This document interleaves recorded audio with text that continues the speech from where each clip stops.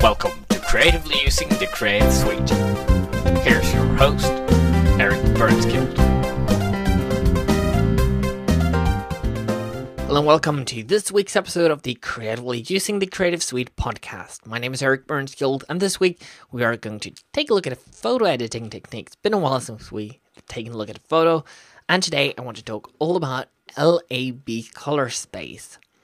Now, this might throw you off a bit. If you haven't been working with LAB before, you might be wondering and asking me, what is LAB really? Well, LAB stands for lightness and then A and B. So A and B are two color channels containing different colors, both of them, while L just contains the lightness of the overall image. So it's just a black and white copy. Today we're going to do some photo editing that utilizes this LAB color mode. And all you need to do to get into LAB is go to Image Mode and LAB Color. Once here, it's going to switch over. You're not going to notice any immediate differences right now. But when we start working on it now, we'll see some enhancements that we can make. So I'm going to go and add an adjustment layer, and I'm going to add a curves layer here.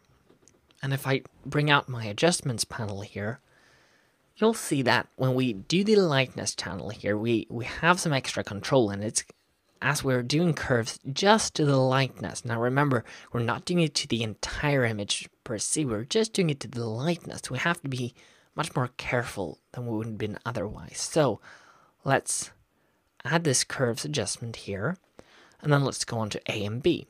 So you're going to see if I pull the right top right hand corner away in, you're going to see that's the magenta and down at the bottom is kind of a, a greenish tint here. So if I drag this in and with this more complex grid system here, if I drag this in, let's say one here, we're going to add some saturation, but we've added it to, to the um, this color here. And if I add drag in as much here, the magenta side, we balance this out again, but we've kind of saturated both. And if I do the same with B, this is something I'd say was a preset. See, um, you can vary this with different grid widths here, so you you get some different results and different strength. But if I show you the before and after here, you're seeing some definitely increased uh, contrast, of course, of the overall image compared to without. And if I bring up the layers panel here and hide, you will see the incredible difference that this makes. It's really brought out a lot more color in the image, a lot more contrast in the image. And the final thing we could talk about is sharpening in LAB2. So when we've done the curves correction in LAB, before we leave LAB and on, we want to make sure, go into your channels here and you want to target lightness. Because we can work with the lightness, which is black and white only, we can eliminate any color artifacts when we do the sharpening that we normally do to the entire channel in RGB. So we can eliminate this in A and B and just go into lightness.